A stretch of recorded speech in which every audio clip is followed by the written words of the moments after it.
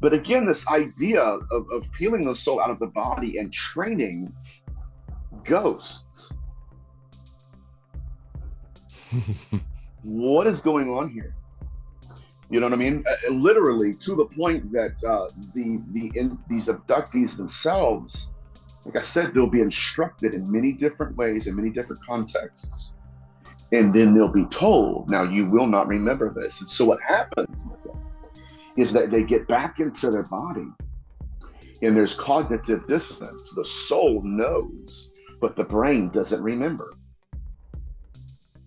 So what's what's so fascinating about this hypothesis is how much the body is scaffolding to the soul, right? We're seeing without eyes.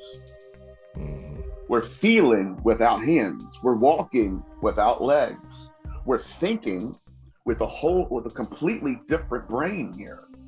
And that's why I'm leaning more towards the hypothesis of the soul being made another species than that of the body it inhabits almost like a puppet soul master. Have you ever seen the puppet masters?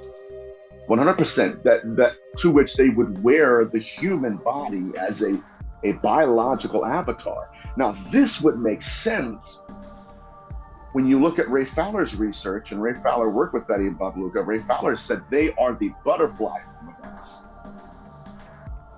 We are the larva form of them. Now, but what that means though is that death is just a process and that they, according to Ray Fowler, they, they are us.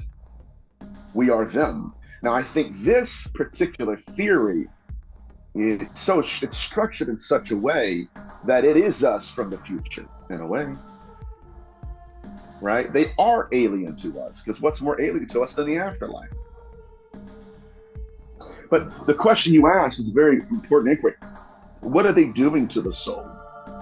Um, I, have had people reach out to me. One in particular told me that they uh, they threw her in a pool of corpses and told her to resurrect them. Again, necromancy. It's through and through in many of these cases. Uh, but anyways, yeah. So so again, the idea of them plucking the soul out of the body I think they're, they're studying the soul in and of itself. What are its capabilities? What, and again, I, I points me back to the idea that uh, they either authored it, or they're trying to hack it, or it is a food source in a way. Now, now this gets back to, well, if there's such a threat to us, why wouldn't they kill us all? That's not a good argument. The more the proper argument would be uh, why are they leaving a lot of us alive? Right? It's like you go back into the hypothesis dr Karla Turner had where we are essentially cattle to them. And being cattle to them they have to have us replicate in order to keep our species alive but anyways getting back to this idea of, of them plucking the soul from the body it's not just what they're what they're doing; it's what they're doing to the soul. Now, now we're getting into again Betty and Bob Luca's case study. Uh, Betty Luca, when she left her body, they did something to to her consciousness to such a degree that when she re-inhabited her body, her body began to manifest skin anomalies. Now, what's important to notice is that they did not take her body in this specific case study, in this specific abduction account. Other times they had, but in this particular case, they took her out of her body, and yet the scoop marks still appeared. Which would suggest to us that a lot of these experiencers are having out of body abductions. And we're looking at them collecting the physical data and saying, yeah, they must have scooped something out of your flesh.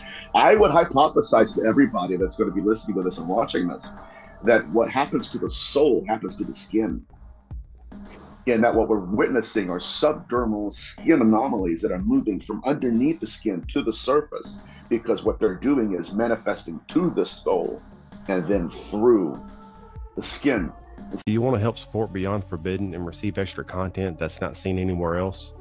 By becoming a patron, a few things you'll receive are the full length 90 minute or 120 minute podcast episode. Members will also receive a private link of the video podcast and will only be exclusive to Patreon members.